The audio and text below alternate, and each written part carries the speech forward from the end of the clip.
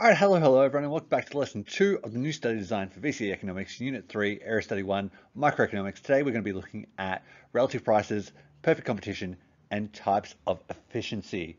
So these are all things that were in the previous study design. What is new with them in this study design is that we are going to be tying in some of the types of efficiency with the production possibility frontier, which we hadn't had to do previously. So we're going to talk about how allocative efficiency, technical efficiency, dynamic efficiency, and intertemporal efficiency all can relate to the production possibility diagram as well. Because that comes up in the key knowledge that we'll be looking at today, which is these four dot points, which are the meaning and significance of economic efficiency, including allocative efficiency, productive efficiency, dynamic efficiency, and intertemporal efficiency, and their relationship to the PPF model, the conditions for a free and perfectly competitive market, the role of relative prices in the allocation of resources, and the role of free and competitive markets in promoting an efficient allocation of resources and improved living standards. We're kind of pulling a couple of key knowledge dot points from lower in the study design because they marry up nicely with these ones, so we might as well do them together. So we get to our learning intention, which for all of this unit is to understand how resources are allocated in Australia. And our success criteria today is that you can explain how relative prices impact resource allocation for both businesses and consumers. You can outline the features of a perfectly competitive market and you can distinguish between different types of efficiency and potentially relate them to the PPF model. So relative prices are all about the comparison of selling prices between two similar goods or services. So the prices of products relative to other products is a very simple way to put it. So relative is really, really important there. So when relative prices change, it sends clear signals to producers and consumers, and therefore can change resource allocation and means that businesses will redirect resources towards their most profitable use. So because the comparison of selling price between two similar goods or services, that really is going to impact businesses. It still costs the same to produce them despite the selling price potentially changing. So for example here, if apples and oranges both had a sale price of $2, it wouldn't matter which one the businesses produce because they both are at the same level of profit because they cost the same to produce. But if the sale price of apples increased to $3, all of a sudden producers would redirect their resources into producing apples or into apple production because they're now more relatively profitable. And that is really, really important for businesses because they are always going to want to produce what is going to make them the most profit overall. Whereas for consumers, it's a little bit different. Now for consumers, oranges have gotten relatively cheaper. And to maximize their utility, consumers are more likely to direct their resources towards producing, purchasing and consuming oranges. So that's relative prices. So the role of relative prices in allocating resources. So relative prices are the final price of a particular good or service compared to another. Relative profits compare profits gained from producing one good in comparison to another. So that's like we were saying before, if apples are now relatively more profitable because they have a higher selling price, businesses are going to redirect or reallocate their resources towards producing apples because they're going to make more profit from that. So since business owners are motivated by profit, they may end up moving resources from one industry, for example wool, to another like wheat, reflecting the re relative changes in profitability of one product against another. So businesses are always going to reallocate resources towards whichever is relatively profitable, and consumers are always going to reallocate their resources towards whichever is going to maximize the utility or whatever is cheaper. So then we get into the nature and types of efficiency. So We've got four main types of efficiency that we're going to look at in VCE economics, and they're all really important. You need to be able to distinguish between them, but also give examples of how they can be achieved, um, and also kind of, yeah, give examples of what the government can do to try and make us more of that type of efficiency. So allocative efficiency will occur when the allocation of resources chosen maximizes society's well-being. It occurs when there's no shortages or surpluses of certain goods or services. It's the only combination of production where living standards are maximized. And it can be illustrated on the production possibility diagram. It's at any point along this curve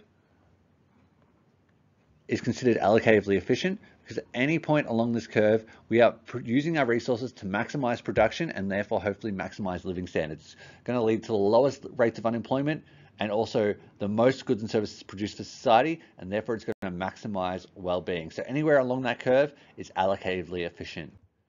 Then we've got technical efficiency. Technical efficiency is all about producing at the lowest cost for the maximum output. So it's the point in production where productivity is at a maximum and where average costs are at a minimum. So it's not possible to increase output without increasing inputs. This can be achieved through things like education and training, new technology, um, anything where businesses are able to decrease their costs and maximize their output. So once again, any point along the production possibility curve is technically efficient because all along that curve, businesses are maximizing their output and not having any waste. Then we have dynamic efficiency. Dynamic efficiency is all about how quickly an economy can reallocate to achieve allocative efficiency. What that means is how fast businesses can change their production to match society's changing needs and wants.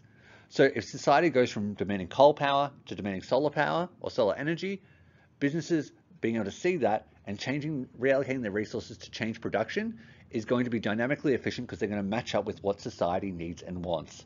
So on this PPF, it would mean how quickly a business might be able to move from, say, for example, point B to point D, because now that is the combination of resources that businesses or consumers are demanding.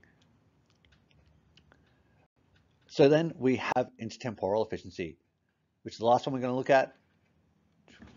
Intertemporal efficiency focuses on balancing the allocation of resources between different time periods, usually now and the future.